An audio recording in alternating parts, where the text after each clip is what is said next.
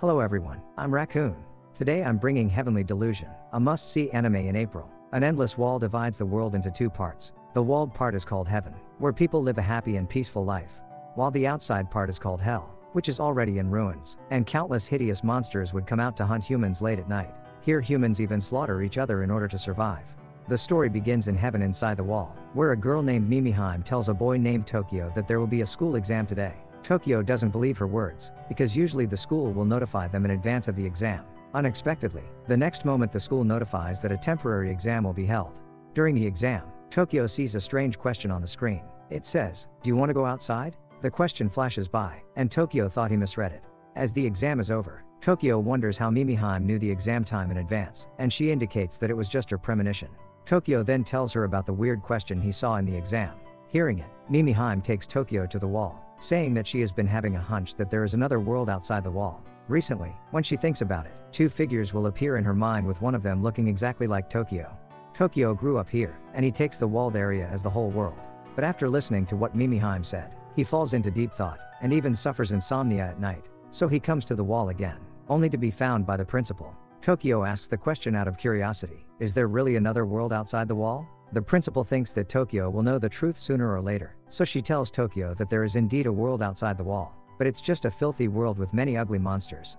The scene then switches to the outside world. 15 years ago, an unprecedented catastrophe hit the world, leaving it devastated.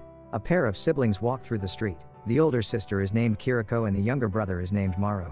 From their conversation, we know that they are looking for heaven, but they don't know where it is exactly. Surprisingly, the brother Maru looks very similar to Tokyo.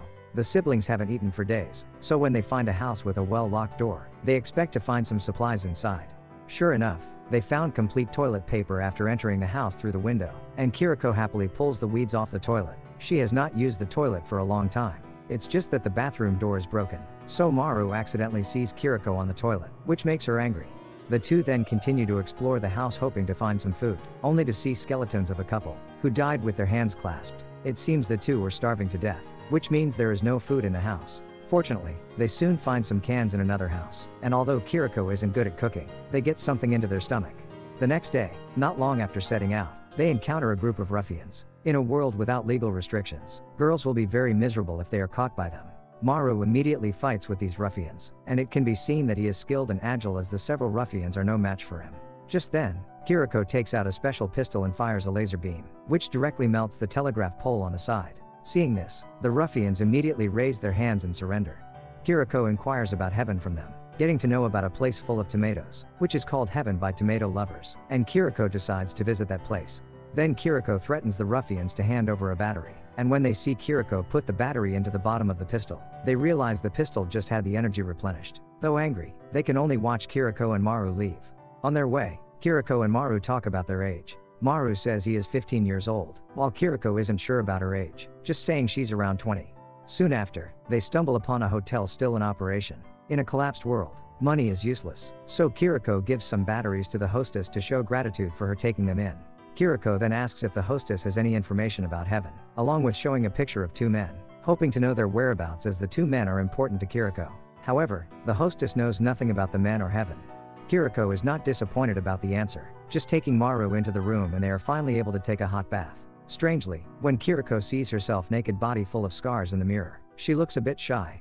Later, in the chat with the hostess, they learn that there will be dangerous monsters appearing at night. Instead of being scared, Kiriko shows some excitement, saying that she has a special pistol that can shoot monsters, only to see a sudden gloomy expression on the hostess's face. But soon she returns to normal and prepares dinner for them. During the meal, the hostess reminds Maru and Kiriko that it is not a good thing for siblings to have a child. The two immediately blush, and Kiriko quickly explains that she and Maru are not siblings, let alone she has no interest in him, and that she is just a bodyguard Maru hired in Tokyo.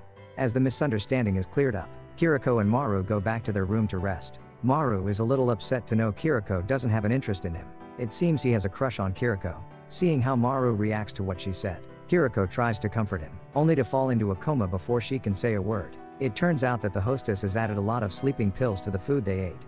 Meanwhile, we see the hostess pick up a shotgun, and a terrifying giant strange bird flies toward the hotel. When Kiriko finally wakes up, she finds a man eating monster outside the window, and she quickly awakens Maru. The two walk out of the room with weapons, and drink some water to dilute the sleeping pills in their bodies. Just then, the hostess discovers them, asking them to go back. Kiriko guesses that the hostess was trying to keep them away from the monster so she added the sleeping pills to their food. At this moment, the giant bird shows up again. Kiriko and Maru quickly chase after it. This huge monster looks very terrifying. It has no head, but a very sharp whip that can easily cut through a human body. Experienced in combat, Kiriko and Maru soon keep the monster at disadvantage. Just as Kiriko is about to give it a fatal shot, the hostess blocks the way and shouts, This is my child. It turns out that the monster ate the son of the hostess not long ago, and she thought since her son had entered the bird's body, the bird is her son now. She tells Kiriko and Maru that the strange bird will not harm her and even helped her drive away other monsters not long ago. Just when Kiriko believes what the hostess said and puts down her weapon, the monster directly cuts off the hostess with its whip, and then eats her. This scene enrages the two. Maru wipes Kiriko's tears, and then rushes to the monster using all his strength to penetrate his arm into its body, directly crumbing its heart. It seems that Maru has the power unimaginable to ordinary people. As the battle ends, Kiriko and Maru continue on their way early the next morning. They lament that maybe the hostess was telling the truth. The monster indeed inherited her son's personality in the beginning and protected her several times. It's just that it is a monster after all, and in the end, it would still hunt and eat people everywhere with the humanity destroyed. Otherwise, the world would not fall into such a terrifying situation. They don't feel like discussing this topic, while just following the clues given by the ruffians to find heaven. After a long journey, they discover a farmland, which they speculate to be the heaven full of tomatoes. Just then, Kiriko asks Maru what his purpose is in going to heaven. Maru takes out a bottle, and according to him, someone asked him to go to heaven to find the one who looks exactly like him, and then inject the medicine in the bottle into his body, so that he can save many people. Hearing this, Kiriko is caught in a memory where a severely injured woman begged her to escort Maru to heaven. They are then discovered by the nearby farmers, who treat them warmly as children. From the locals, they get to know that after the catastrophe, villagers here rebuilt their homeland, first planting a lot of tomatoes and later other crops. Perhaps that's why it was called the heaven of tomatoes. As villagers here never show any surprise when they see Maru, Kiriko believes there's nobody looking like him. Thus it is not the heaven Maru is looking for. Figuring it out, the two are a little frustrated. Suddenly, Maru sees a box with a mark on it, and the mark appears to be the same as the one on Kiriko's pistol. They then speculate that the special pistol should not be a product of this world, but may be related to the mysterious heaven. The two wonder how the box came about, but the villager only knows it was used to hold supplies when trading with Tokyo. As they can't find a clue to heaven, they decide to go back to Tokyo by sea. On the boat, Maru laments that since heaven cannot be found at all, he would like to farm with Kiriko for the rest of his life. Maru then plucks up the courage to confess his feelings to Kiriko and kisses her. Kiriko struggles to push Maru away, and she then reveals her secret to Maru seriously. Although her body is a woman, her brain belongs to a man, so she is a man indeed. Her words seem to be unbelievable, but it is the truth. As Kiriko starts to reveal her past, we are brought back to five years ago.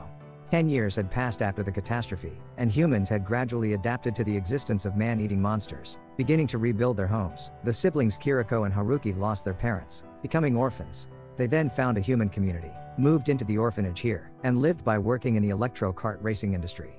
Kiriko was a racer and would regularly compete in various races, supporting the children in the orphanage and her brother with her bonus. To keep the race running, the head of the racing association hired many orphans as security guards, and Haruki was one of them. One day, two gangsters were found sneaking into the arena with forged tickets, and Haruki was knocked down by the two gangsters when he tried to arrest them. After the catastrophe, it is difficult for the laws of this world to bind mankind. When the two gangsters were about to kill Haruki, a man named Robin appeared in time to save him and defeat the gangsters. After that, Robin told Haruki that when fighting, he couldn't just stare at the enemy, but must observe his surroundings and use all the tools at his disposal.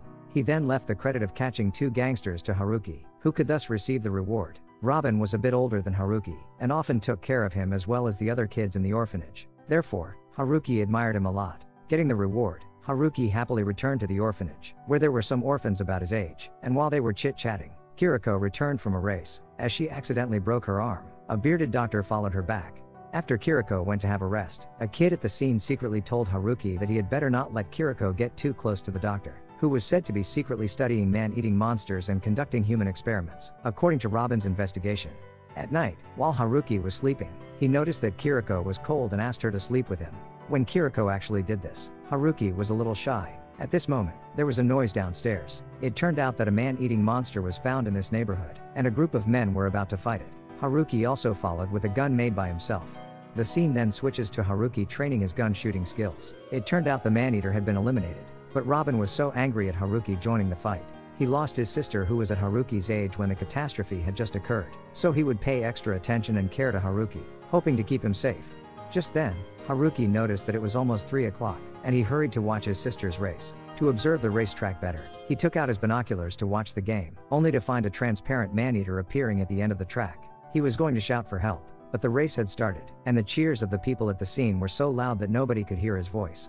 Thinking that it would just take his sister a few minutes to reach the end line, he knew it was too late to inform others. So he took his gun, rushing to the place where the monster appeared. When encountering the monster, he shot it fiercely, only to find the strong defense maneater unharmed. The brave boy then took out his dagger and rushed at the monster. However, not only did he not hurt the monster, but he was entangled by it and could not break free. After a few minutes, Kiriko arrived at the end track, where she noticed a man-eating monster. She quickly stopped and notified the racer behind to call for help. As she was about to leave, she saw Haruki being held in the mouth of the monster. Kiriko collapsed instantly. She shouted Haruki's name, drove her cart into the monster, and snatched Haruki's body from the monster. Perhaps the monster was full, so it didn't attack her and left. Sadly, only half of Haruki's body remained. Thinking that her brother would soon die, Kiriko's mind was filled with their past, and her tears couldn't stop flowing. At this moment, the scene switches. It seems that someone was performing surgery on Haruki. He felt that he was in a nightmare, where his beloved sister has gone, while he was entangled by the man-eater. By the time Haruki finally woke up, he was in the hospital bed. He dragged his tired body out of the ward. When he saw his look in the mirror, he instantly went out of control. He couldn't believe he had changed into Kiriko, shouting that he wanted to see his sister. The doctors quickly stepped forward to inject him with tranquilizers. The nurses thought that Kiriko couldn't accept the loss of her brother, and thus believed herself to be Haruki. At this moment, Haruki had calmed down, and he asked them what happened after he fell into a coma. The nurses revealed to Kiriko, who was actually Haruki, that when she and her brother were sent to the hospital, they were both dying. It was the bearded doctor who conducted the operation, bringing her back to life. But unfortunately, her brother died, and the doctor left after the surgery. Haruki was a little confused. He remembered seeing his sister crying but surely alive before he fell into a coma. How could she be sent to the hospital with him? Haruki knew that nobody would believe that he was in his sister's body. But he was sure he must be Haruki. Because he grieved the loss of his sister, and occasionally rejoiced in inheriting his sister's body late at night. His feelings for his sister seemed to be very special. Haruki decided to keep this secret to himself, and four months had passed by the time he fully recovered. Then, he intended to leave the hospital to find the truth about this matter. He remembered what an orphan had mentioned to him that Robin was investigating the identity of the bearded doctor, so he planned to go to Robin to see if he could get any clues. He went back to the electro kart racing place where he had worked, only to be told by the staff there that Robin might have been killed. It turned out that there had been frequent disappearances in the neighborhood recently, and Robin had also disappeared while investigating the issue. Haruki hurried back to the orphanage where he used to live, only to find that his companions had also left. A man living nearby told him the kids had lost their financial resources after Kiriko and Robin left, so they had to move somewhere else, but no one knew exactly where they moved to. Disappointed, Haruki walked back to his room, lay on the bed, and shed tears. At this moment, Haruki thought of a key point. People here did not find Robin's body, and there was no definitive evidence that Robin was dead. Maybe Robin just went somewhere else. He believed that if he could find Robin or the doctor, he would know the truth. Therefore, he found pictures of the two, and changed his name to Kiriko. He presented himself as a bodyguard, protecting his employers while following them everywhere to find Robin and the doctor. Four years passed by like this until Kiriko met Maru. Kiriko's incredible past shocks Maru, but in a world full of monsters, nothing is impossible. So Maru believes what Kiriko says. It's just that he doesn't know if he should still call Kiriko sister. Just as they're still troubled by how to appropriately call each other, a scream comes from a man nearby. Kiriko and Maru run over to check and are taken aback. A terrifying man-eating fish monster appears outside the boat. At this time, the scene switches to heaven, where a boy named Kona is painting a baby with a strange face. A girl likes the painting so much, praising his painting to be weird but good and asking if he can give this painting to her. Kona is confused, not knowing why his painting is weird. Just then, Tokyo appears and takes the girl away. Tokyo tells the girl not to always find fault with Kona's paintings, while the girl retorts that she was praising him and that she has seen real babies. They have no faces. Curious, Tokyo follows the girl named Cuckoo outside, and she tells Tokyo to follow her if he wants to see the baby without a face. Seeing Tokyo nod, Cuckoo takes Tokyo under the high wall, and then jumps onto the wall. Her limbs can stick to any object, and she climbs up to a vent on the wall with his superpower. Tokyo also wants to climb the high wall, but unfortunately, he does not have the superpower, so he can only find a way to keep up with Cuckoo. At the same time, the cameras in heaven are monitoring everything about the children. It is soon revealed from the conversation between the two staff members in the monitoring room that there are cameras everywhere in the heaven, and everything about the children cannot escape their notice. People here are studying the movements and behaviors of these children, and these children are their experiments. seeing two children hugging and kissing. They think it is very interesting because they have never taught these children about love. At this moment, Tokyo finds a machine, and taking advantage of the fact that the machine can move against the wall, he steps on the machine and ascends. Strangely, the monitor is already focusing on Tokyo, but he can't be seen on the monitoring screen. Soon, Tokyo follows Cuckoo through the ventilation duct to a laboratory. There are many experimental containers with many strange babies inside. They have no face, and some strange tentacles grow on the lower part of their bodies. When one of the babies sees Tokyo, he makes a gesture of embrace. Tokyo approaches the baby curiously, and just then, an alarm telling intruder detected sounds in the room. Cuckoo quickly jumps on the ventilation duct, but Tokyo does not have the same bounce as Cuckoo, and he is so frightened that he stands still. At this moment, after hearing the alarm, the staff members send someone to see where the intrusion has occurred. However, just like not long ago, Tokyo doesn't show up on the monitoring screen. Right now Tokyo is still in a daze, and Cuckoo hurriedly shouts out his name and flees with him holding his hand. After they leave, the baby who interacted with Tokyo just now whispers, Tokyo, it seems that this strange baby remembers Tokyo. Next, the scene jumps to the principal's side. There is a robot named Mina next to the principal, and her body connects everything in the heaven. From their conversation, we can know that the heaven is like Mina's body, and she can feel everything in the heaven. But even she can't notice that Tokyo intrudes, so in the end, the principal can only take the alarm just now as a mistake. Now, let's finish the story in the heaven and jump to Kiriko and Maru's side. Kiriko discovers a giant fish that eats humans on the ship. This strange fish has an ability similar to Cuckoo's, with many human arms on its body, and it can move quickly with its arms sticking to the wall. Besides, it will spit water arrows to attack humans. The most frightening thing is that it is covered in a strange film of water, and even Kiriko's pistol cannot hurt it. Kiriko and the others can only temporarily retreat into the ship, and they learn from the captain that the ship won't reach the shore until at least 30 minutes later. But if this strange fish keeps attacking the ship, the hull is likely to be destroyed.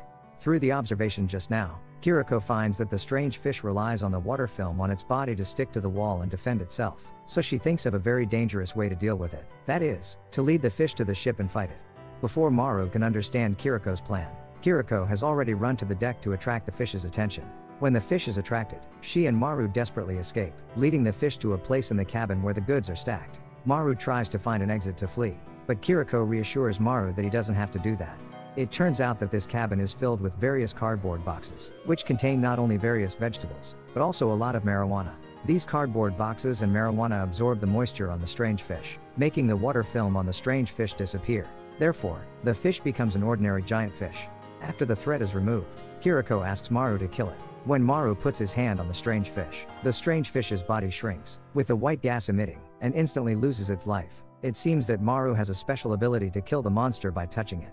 Soon after, the ship docks. To thank Kiriko and Maru for killing the monster, the captain intends to give them payment. Kiriko refuses because they think they were just saving themselves. At this point, Kiriko takes out her pistol and asks the captain if he recognizes the marking on the pistol. The crew member who follows the captain observes for a while, and says that he knows the marking. As long as Kiriko and Maru keep walking along the road ahead, they can see the building related to the marking. With useful information, Kiriko and Maru set off right away. What makes them helpless is that the crew member mistook the logo of a cartoon bird in the home center for the marking on the pistol. That is to say, the clue this time is useless.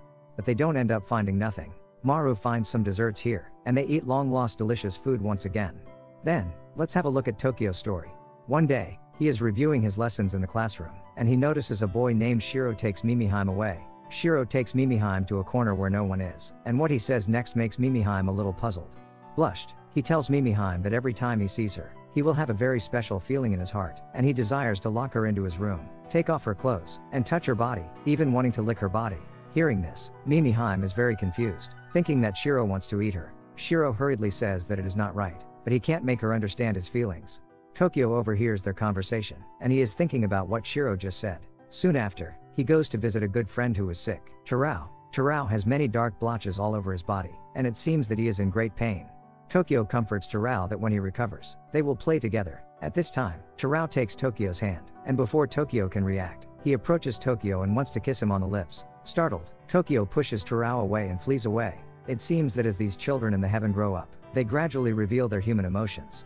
Kona happens to see Tokyo running in panic, and Tokyo tells him everything that happened just now. With a sad expression on his face, he complains to Kona that everyone seems to become very strange recently, and he is afraid of these changes. Kona comforts him, saying that it is very normal for humans to fall in love with someone, and perhaps not long after, Tokyo will also have the desire to have intimate interactions with someone, which is not strange at all.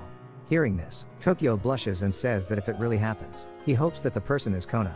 Smiling, Kona also says that he hopes Tokyo can be that person. At night, thinking of what Kona said during the day, Tokyo is so happy that he can't fall asleep. Just then, he receives urgent news that Tarao's condition suddenly deteriorates and he wants to see Tokyo. Tokyo quickly runs to Tarao's hospital room, where Tarao apologizes for forcibly kissing Tokyo previously. He did not take into account Tokyo's feelings, and he can feel that he will not live long. Seeing Tokyo worrying about him, Tarao plucks up the courage to say, Tokyo, flee away, it is very dangerous here. At this moment, Tokyo doesn't know what Tarao meant, as he is still immersed in the sadness that Tarao is about to die. Let's put aside Tokyo's story for a moment and take a look at the situation on Kiriko and Maru's side. After failing to find heaven, Kiriko and Maru rediscover a small town where humans gather, and they plan to continue to search for clues about heaven. As Kiriko and Maru are newcomers here, some gangsters want to bring them to their knees through violence. However, Maru's combat effectiveness is so strong that he knocks down several of them alone. After that, Kiriko and Maru leave for somewhere further to avoid being retaliated by the gangsters. Being safe, Kiriko then asks Maru to recall his past again to see if he has noticed some clues about heaven. Maru was born in the year of the Great Disaster and had been living with many children and some adults. However, when he was seven, the place they lived closed down and some children were taken away by their parents. The remaining children could only follow the older ones to live by collecting scraps. Three years later, the leader of their group was killed over some sort of turf war, while Maru and the other children were taken in by the murderer. A few more years passed by. A woman named Mikura adopted Maru and taught him how to kill monsters, and it was she who later asked Maru to find heaven. Kiriko doesn't get any useful information from Maru's story, so she plans to go out and get a map of the neighborhood to see if she can find something new. When she arrives in town, she discovers that the gangsters who they fought not long ago are looking for Maru. Just then, one of them proposes to stop looking for the kid. Instead, they should focus on the upcoming Ministry of Reconstruction. But other gangsters don't take it seriously, because the news of the imminent arrival of the Ministry of Reconstruction has been spread for a long time. The word Ministry of Reconstruction plunges Kiriko into a memory. When Kiriko was still Haruki, Robin once told him that since the Great Disaster, an organization had emerged. This organization abducted high tech talents everywhere, hoping to use this group of talents to rebuild human society and rule the world. Surprisingly, this organization is called the Ministry of Reconstruction, and Kiriko never expects there are still rumors about it. At this moment, Kiriko has obtained the map and replenished her special pistol. She evades the gangsters and returns, only to find Maru missing. In an instant, many bad memories emerge, worrying that Maru was eaten by a monster. She gets emotional, shouting Maru's name. Just then, Maru comes over from the next room, with his face blushing. It turns out that Maru was reading some special comics next door to satisfy his physiological needs. Still badly shaken, Kiriko asks Maru not to disappear suddenly without telling her. Tears then fall from her eyes. As her family and friends have left her, she is really afraid of losing Maru. Seeing this, Maru quickly steps forward and hugs Kiriko, whispering comfort. When Kiriko finally calms down, she pulls out the map, which shows a place that has 100% safe water, and in today's world, probably only heaven has 100% safe water. Although the trip may be in vain again, they still decide to go there and take a look. Just then, the captain of the ship they took last time comes to them, proposing to hire them as the bodyguards because they showed great combat strength when defeating the fish monster. The cargo to be protected is part of the organs of the fish. It is said that there is a great doctor in an immortal order nearby, who can combine the organs of monsters with the human body to help humans obtain powerful physical bodies and even immortality. The captain wants to show off the organs he collected, only to find the organs in the bottle have turned into some sloppy pieces. As the organs have melted, the captain has no plans to look for the doctor, while Kiriko suspects that the doctor who can combine the monster's organs with the human body might be the bearded doctor she has been looking for. So she and Maru decide to go to the place to investigate. Elsewhere, one of the researchers in heaven discovers a footprint on the wall of the laboratory, realizing that someone has secretly broken in. Therefore, he begins to investigate the matter. Meanwhile, the children in heaven are singing and dancing outside Tarao's ward, hoping that Tarao can feel better hearing these cheerful music and get recovered. Unfortunately, the hopes of these kind children are doomed to be disappointing. When Tokyo wakes up the next day, he receives the news that Tarao has passed away as his disease deteriorated. Soon after, they hold a funeral for Tarao, and everyone is grieved. Just then, Tokyo asks Kona a question Did Asura also die of this disease? Hearing this, Kona suddenly becomes nervous. In his memories, Asura did not die of illness, but chose to end his life himself. But Kona does not tell Tokyo the truth, so he replies, Maybe yes. When the children are mourning Tarao, the robot Mina tells the principal that the samples have been collected and Tarao's body can be cremated. Hearing this, the principal couldn't help but lament that this is the second deceased among the children. From their conversation, we learn that Tarao died of a strange disease, but Asura ended his life because he could not accept his body. The principal looks a little sad. Although these children are experiments, she brings them up after all. The death of children is the last thing the principal wants to see. She wonders why Tarao would get this strange disease. However, the researcher answers that they have no idea about it since they have already worked hard to make the children immune to various diseases. In other words, every child here can die of disease, which enrages the principal, who angrily orders the researcher to find out the cause before the day of fate. Later, when they cremate Tarao's body, they are shocked to see a strange black bug like stuff in the ashes. At night, Tokyo is vomiting on the toilet. A terrible thought comes to his mind. Could it be that he is also sick? Tokyo hurriedly goes to check. Fortunately, there's nothing wrong with his body, and he is just too tired. Relieved, Tokyo goes back to bed, and that's when he notices that Asura, who should have died, suddenly appears and says, Tokyo, what is your specialty? The next moment, Tokyo's body undergoes strange and frightening changes. Suddenly, he opens his eyes with fear. It was all just a nightmare. Somewhat terrified, Tokyo sneaks out of his room and comes to Kona's room for comfort. The two begin to interact intimately, and it seems that they have secretly become a couple. We can see Tokyo's body figure, which actually has very obvious feminine characteristics. At the same time, the researcher has found out through the comparison of footprints that the person who sneaked into the laboratory was Tokyo. He just can't figure out how Tokyo could avoid the camera. Now, let's take a look at Kiriko and Maru's side. They plan to collect some water before going to the Immortal Order, so they store their luggage in a nearby guest house owned by a girl. They then approach the site marked on the map for containing 100% safe water, only to find it is just a flooded underground parking lot, and the water is not clean. Before they could figure out why it is marked as a safe water source, they discover an injured man. The man begs them to save him, saying that there's a monster here, and the next moment, the monster shows up, attacking them. The two quickly run out, while Kiriko knocks down a stone pillar with a pistol, crushing the monster's body, followed by Maru unleashing his abilities to kill the monster. However, Maru finds his ability unable to be activated, thus realizing that the beast in front of them is not a monster, but a giant bear. They quickly run up to a high platform to take refuge, where the bear can't reach. They intend to wait for the giant bear to leave, but after a long time, it is still hovering around. If they don't take another move, they'll be trapped here to death. Kiriko has to try to see if the pistol can fire a final attack, only to have the battery accidentally drop down. Knowing that her physical quality is inferior to Maru's, she proposes to let Maru touch her body if he can get the battery back. Maru was a bit scared at first, but when he hears this, he immediately rushes down and grabs the battery before the giant bear attacks. Later, with the tacit cooperation of the two, Kiriko manages to shoot the bear with the last bullet of the pistol, and the injured man is rescued by the way. When they return safely to the hotel, Kiriko recalls the accident that happened today, deducing that someone who knows about the possible appearance of the bear deliberately marked the location on the map, to lure others who want the safe water to go and be killed by the bear, so that he or she can get their supplies. In this world of the jungle, Danger is everywhere.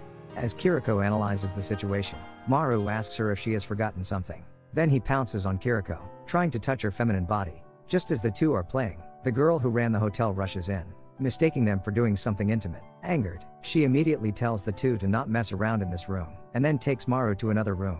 Unexpectedly, this girl actually takes the initiative to try to satisfy Maru. It turns out that in addition to running a hotel, she will occasionally sell her body to make some money. When Maru tries to push her away, he inadvertently touches the girl's chest, causing him to have the feeling of grabbing and squeezing the girl's heart, just like how he killed the man-eaters. Startled, Maru quickly withdraws his hand, and then stops the girl from seducing him.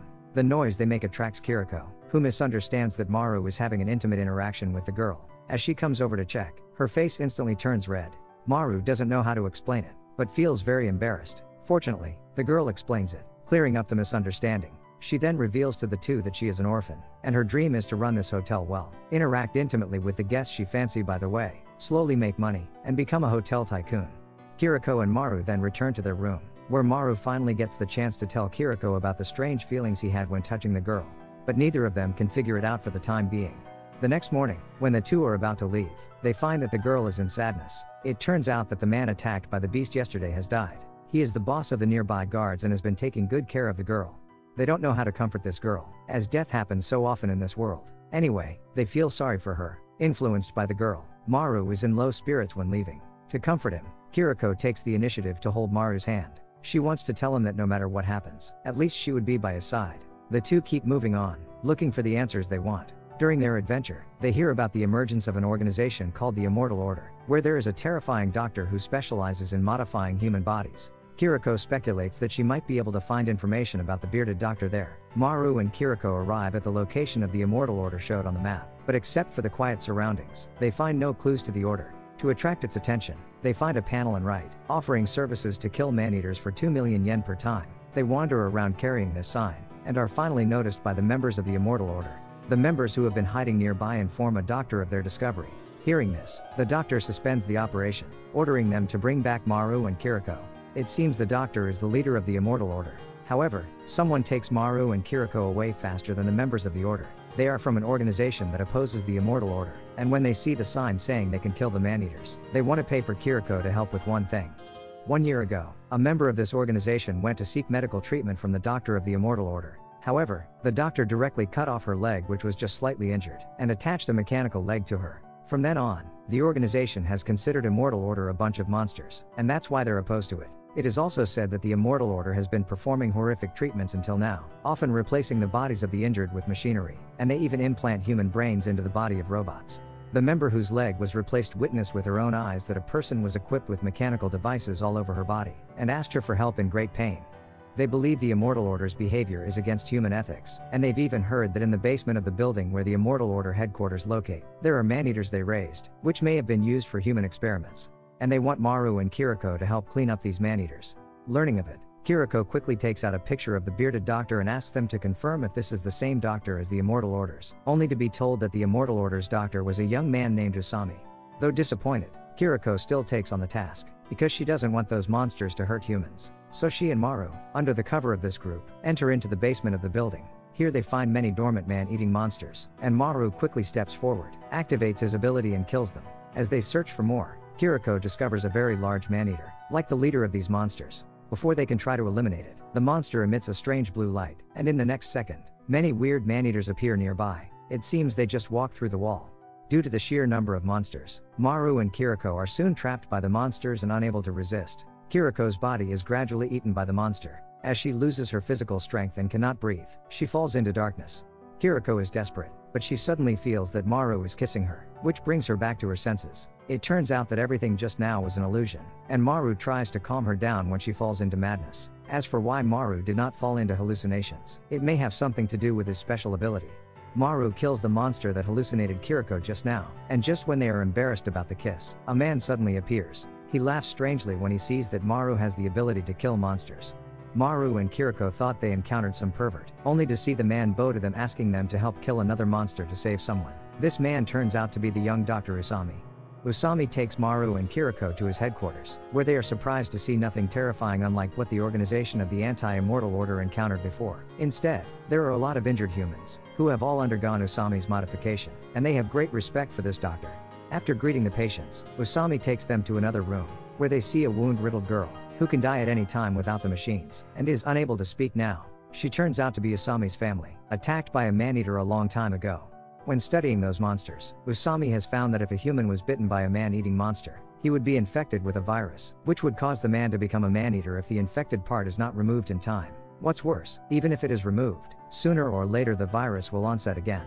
That is to say, once you are bitten by a monster, you will definitely become a monster one day to avoid the girl from becoming a man-eater in the end. Usami hopes Maru can kill her now, which is also her wish as she wants to die as a human. Hearing this, Kiriko and Maru are shocked. They finally get to know that Usami forcibly amputating people's injured parts is to prevent them from turning into a monster. Although the girl cannot speak, she can present what she wants to say through a tablet next to her. Her last wish is to take another look at the sky. A kind Kiriko is touched, and decides to help the girl fulfill her wish. This room is less than 10 meters from outside so they can move both the girl and the machines that keep the girl alive slowly outside. Meanwhile, an accident occurs in the organization that goes against the Immortal Order. Their leader falls and her head hits the ground while protesting. Soon after she is sent back to rest, a bald man in charge of taking care of her announces that she has died, which is all because of the Immortal Order. Therefore, the bald man orders the members of the organization to launch an attack on the Immortal Order. As for the reason why he dares to attack, it is because he has just received news from his subordinates that all the monsters in the basement of the Immortal Order's headquarters died. The bald man describes the Immortal Order as a terrorist organization that imprisons humans for human experimentation. At his instigation, they launch a fierce attack on the Immortal Order. We have explained that the Immortal Order is actually not a terrorist organization. So after discovering the attack, people here begin to arrange for the injured to leave. Elsewhere, Maru and Kiriko, with the help of Usami, begin to move the machine slowly. After a while, they finally carry the girl outside the room. When the girl sees the sky again, tears well up in her eyes. Her last wish has been fulfilled, and she can finally die in peace. Maru closes his eyes, puts his hand on the girl's body, and the next moment he seems to pass through her body, reaching a red heart. Maru takes the heart in his hand and crushes it, ending the girl's life. Just as everyone is grieved, Kiriko notices some text on the tablet. It was the girl's message to Usami in the last moments of her life. It says, Thank you for everything you have done for me, and for helping me die as a human being. Thank you for giving me eyes. I love you. Seeing these words, Usami, who has always been calm, begins to cry loudly. The girl finally ended her painful life, but for Usami, he lost his only loved one in this world. Meanwhile, the bald man has led his subordinates to occupy the building, and it turns out that his purpose was not to resist the Immortal Order at all, but to occupy the machines and power generation equipment here. In this way, he can slowly build up his forces and become the king here. However, unbeknownst to him, there is still a man-eater in the basement of this building that has not been killed. As the girl's wish was fulfilled, Usami takes Maru and Kiriko, along with the girl's dead body to join the people who have escaped from the building. They have known about the attack, and Usami marks a location on the map, where there is a village. He asks these people to go and seek refuge there. Usami created the machines in the building to save his loved ones, and one day an injured man broke in by accident. He helped the injured man create a prosthesis, who brought more and more people to him for treatment. Gradually, the scale enlarged. As he reveals the past, Usami falls into a memory, where the girl was blind in both eyes at the time, until Usami gave one of his eyes to her, and that's why Usami has only one eye now. Suddenly, Usami carries the girl up to a building. Maru and Kiriko think he is trying to calm down, thus not bothering him. While waiting for Usami, Kiriko shows pictures of the bearded doctor and Robin to people nearby, hoping to get some clues. Luckily, she is told that Robin was Usami's assistant two years ago, helping Usami install prosthetic limbs for injured people. But then, he left for no reason. Anyway, Kiriko is thrilled to learn that Robin is still alive. Meanwhile, Usami is sitting on the rooftop with the girl in his arms. Her departure takes away his motivation to live. Looking at the girl lying in his arms, Usami kisses her forehead affectionately. Then he takes out a pistol and aims it at his head. Kiriko is still thinking about where to go to find Robin when a gunshot breaks the peace. They rush to the rooftop, only to see the dead Usami. Seeing this, Maru breaks down, thinking that his hands can only bring misfortune and death. If he didn't kill the girl, Usami wouldn't have died. Kiriko comforts Maru gently, telling him that his hands are meant to kill man-eaters to save humans, and not him but the crazy world should be blamed. As they bury the bodies of Usami and the girl, they find a special button on Usami's hand, the sign on which is identical to that of the special pistol in Kiriko's hand. Kiriko thinks the pistol may have something to do with the heaven they are looking for, so they decide to go to the town where Usami had lived before to see if they can find any clues. While looking for the town, they encounter a strange man, whose name is Juichi, and he specializes in selling some intelligence to make money. Leaving with no other choice, Kiriko pays and learns a few pieces of intelligence from Juichi. One of the stories is particularly bizarre. After the Great Disaster, a group of strong women who especially hated the world ruled by men, gathered to form a town ruled exclusively by women, and the men who came close would be killed. But, if they see any good looking man, they would arrest him and make him a slave. Surprisingly, Juichi used to be a slave there, and because he was marked as slave number 11, others called him Juichi. Men there had no human rights and were treated like livestock, performing dirty manual work, and would be executed at will if they did not obey. Women could choose the man they liked to sleep with and reproduce. If a girl was born, she would be raised and educated by the women, However, if it was a baby boy, he would be directly thrown into slavery and eventually became the next generation of slaves. Juichi was picked by two women, and they formed a family. However, soon after, one of the women gave birth to a boy, unwilling to have their baby become a slave. The two women decide to take Juichi and the baby away from this town, only to be discovered by other residents. In the end, only Juichi managed to leave the town, while the two women became bodies hung outside of the town the next morning. However, Kiriko doubts the story. So she goes to Juichi and erases the mark on his hand, which is fake, indicating that the story just now is likely made up. Kiriko then takes out her pistol and points it at the crook ordering Juichi to drive his car. As Juichi moves the car away, they find a house plate, where was printed Takahara Academy with a logo the same as the sign on the button. Following the mark, Kiriko and Maru go to the second floor, where they find a leaflet from Takahara Academy. It turns out that Takahara Academy was an orphanage-like place, and its principal compared the society to hell, and conversely, the academy was heaven. In other words, Takahara Academy is likely to be the heaven they are looking for. It has two bases and 18 branches, and Kiriko decides to go to the locations of the two most critical bases according to the addresses on the flyer. Meanwhile, a major event occurs in heaven. Tokio is discovered to be pregnant. At the moment they do not know who the father is. Before they carry out any solutions, they decide to lock up Tokio first. From their conversation, we know that this school turns out to be the Takahara Academy that Kiriko and Maru are looking for. Back to Kiriko and Maru, they are stopped by Juichi when heading to the base of Takahara Academy. Juichi claims that the story he has just told was actually true, and then he reveals the number 11 tattoo on his shoulder. Maru checks it and confirms that the tattoo is real. After thinking for a while, Juichi finally decided to come back and ask for the help of the two. As he also noticed Kiriko's pistol, he thinks that maybe he can really save his child with this pistol. Kiriko and Maru are kind, agreeing to help Juichi determine if his child is still alive. So they get into Juichi's car and head to the town ruled by women. It's rather an abandoned school than a town. Maru and Kiriko soon find something abnormal. There are no humans here, so they speculate that the residents here may have shifted their bases. Gaining no more information, they plan to see if they can collect some supplies before leaving. Just then, an accident occurs. The temperature around them begins to drop off, and in a few seconds, the entire area is frozen. As they are about to freeze to death, Maru senses the presence of a man-eater above them. Kiriko fires a shot at the roof, and the next moment the temperature returns to normal. Soon after, they hear a voice nearby, and Kiriko runs to the sound, despite Maru's calling. This is the experience she has summed up in fighting man-eaters for so many years. As long as she knows how the man-eater attacks, it is no longer terrible for her. This man-eater's attack was ranged and could only freeze opponents in narrow places. Kiriko, after spotting the man-eater, fires a shot at it from a distance, blowing up half of its body. Kiriko then asks Maru to touch the half body, but Maru doesn't find its core. In other words, the other half of the body that escaped is the main body of the man-eater. Ending the crisis, Kiriko tells Juichi the results of the investigation. They speculate that the man-eater just now probably killed all the people in the town. Just when they are desperate, they meet two men who had been slaves with Juichi. Under their narration, Juichi learns the truth about the disappearance of the town's residents. It turns out that after Juichi escaped, the town was invaded by a man-eater. The slaves were lucky enough to be woken up by the cry of the baby boy when the man-eater attacked, so they managed to run away. Now the slaves who escaped live in a nearby stronghold, and Juichi's child is still alive. Led by the two men, they come to the stronghold. When Juichi sees his child, he can't help but cry happily. A banquet is held at night to celebrate the return of Juichi. As for Maru and Kiriko, they decide to stay here overnight and leave tomorrow to find the base of Takahara Academy.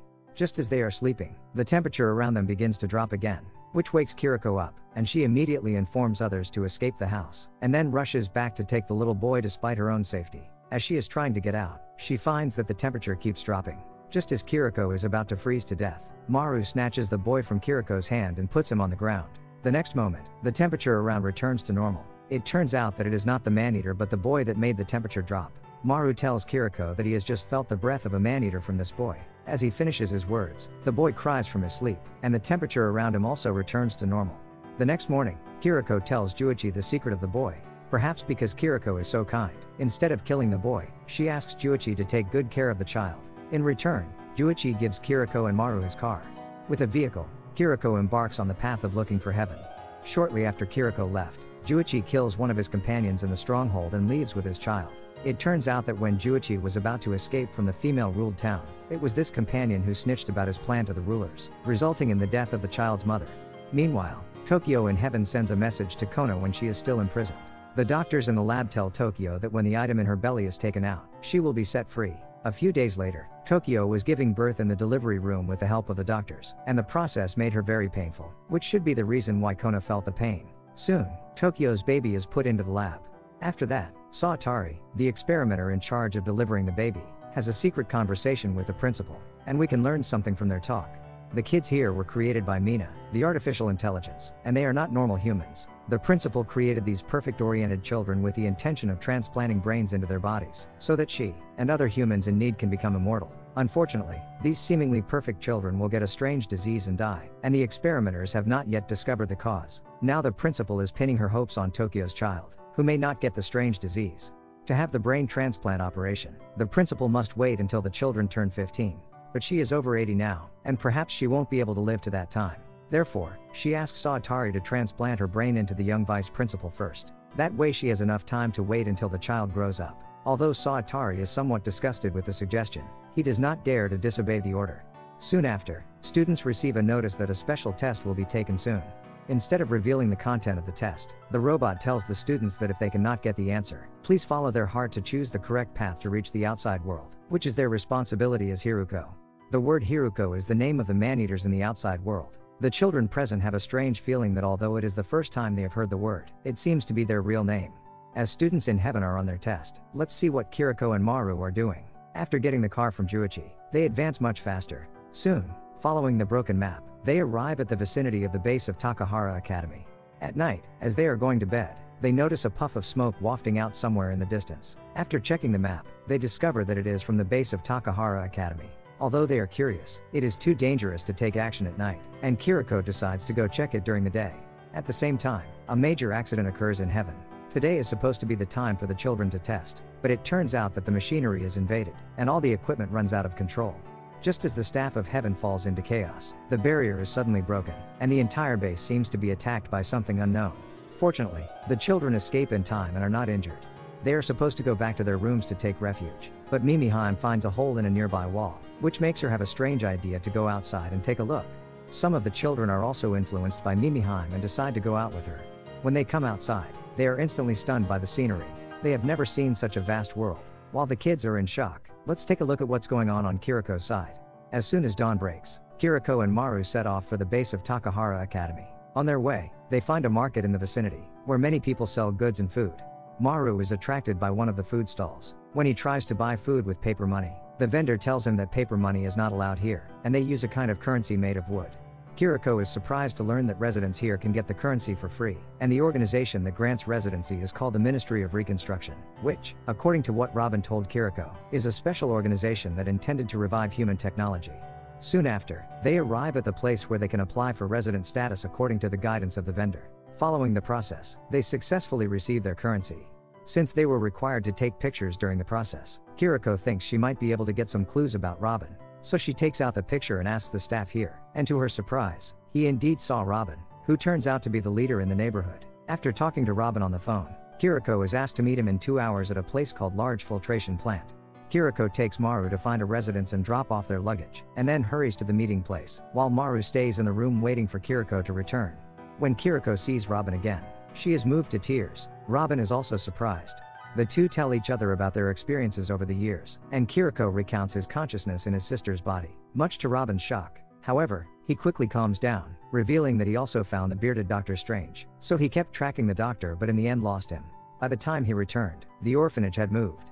Then he discovered this strange base, which seemed to be able to cultivate plants that could adapt to harsh environments. So he cleaned up the wasteland and planted some edible plants on it. The field he planted attracted many people, including those organized by the Ministry of Reconstruction. With the help of the organization, it quickly developed into a small town. The reason why it is called the large filtration plant is that there is equipment that can not only filter water sources, but also generate electricity. Kiriko still has a lot to ask, but Robin tells her she should take a shower first and they can talk more when she feels clean and comfortable. While taking a shower, Kiriko can't help but think that since she has found Robin now, life will definitely get better in the future. When she walks out of the washroom, she finds that her clothes are missing. Just then, she hears Robin walking closer. Kiriko is unguarded against Robin, allowing the unexpected to happen. Robin actually handcuffs her and ties her up. Robin at this moment shows a perverted smile, and at Kiriko's horrified gaze, Robin pounces on her. Two days passed, but Kiriko didn't return. Maru realizes that Kiriko might be in danger, so he decides to go to the large filtration plant to find Kiriko. As soon as he reaches the gate, the guards stop him. Once they know Maru is here for Kiriko, they begin to laugh at him. For the two nights, they've been hearing some sounds from Robin's room, and they take Kiriko for Robin's lover. Hearing this, Maru is instantly enraged, and he knocks down the guards who stand in his way. Finding the room where Kiriko is trapped, Maru is surprised to see her being tied, and he soon figures out what has happened to her. At this moment, Maru sees Robin, and he turns his anger into power, punching Robin over and over again. Seeing that Robin is about to be killed by Maru, Kiriko breaks free and rushes to stop him. Although she hates Robin, she still hopes that Maru can spare his life. Maru, who always listens to Kiriko, finally leaves with her without a word. Kiriko cries and blames herself by the river. She thought Robin was a good person, but he turned out to be a scumbag. She blames herself for being too weak, and everything she has seen so far was fake. At this moment, Maru bravely pours out his heart. He thinks Kiriko is the best. She cooks, drives, and takes care of him along the way, and everything they have experienced is real. He likes Kiriko, hoping that she will stay by his side in the future, and that he will protect her. Listening to Maru's confession, Kiriko throws herself into his arms crying. After that, Maru and Kiriko continue their adventure in search of heaven. Their relationship becomes closer at this moment. As Maru and Kiriko leave, the Ministry of Reconstruction discovers that Robin is missing and they subsequently investigate the large filtration plant. Here they find a room where the body of a monster is connected to a broken human body. They are so frightened that they quickly close the door, having no idea what Robin was doing there. Now let's take a look at the story of what happened in heaven. When the children of heaven discovered the outside world, They thought that this was the school's test for them, and decided to go to the forest to find clues. There are four of them out this time, including Mimi Heim, who is however frightened by everything strange outside. Therefore, she decides to return after walking for a while, accompanied by a boy Shiro who likes her. Strangely, they follow the same way back, but cannot find the location of the school. Just then, Mimi Heim falls into danger while searching for the school, and Shiro is injured when saving her. Mimi Heim doesn't understand why Shiro would rather be injured than protect himself. Shiro tells her that it is because of his love for her. Mimi Heim then removes a button from her clothes and gives it to him, which may be a ritual to establish intimacy between them.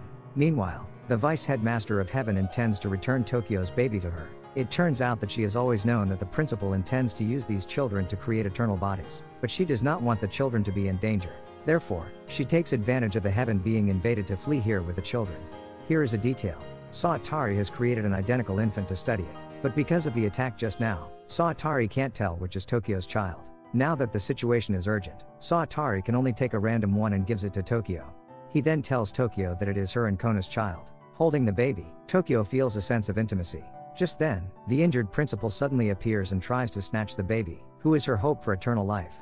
When Tokio realizes that she is in danger, many red tentacles suddenly emerge on her body, and then spread to the principal who is trying to take the child. A burst of white light flashes, accompanied by the scream of the principal. In the end, Mimi Heim and Shiro get on a yacht with other two children who walked out of heaven with them, and the yacht is heading to the bustling human city. The first season of this anime ends here. After watching the first season, I finally know that the story in heaven happened 15 years ago. It is revealed at the end of the story that at that time, disaster hadn't occurred in the outside world. Perhaps children in heaven encountered some crisis in the human city so their abilities were uncontrollably released, and that's why the man-eaters showed up in the outside world. What did these children do in the outside world? Why did this world collapse? Everything will only be revealed in the second season. If you also like this anime, please comment like in the comment section. The more comments I have, the faster I'll recap the second season. Well, today's video ends here. Bye.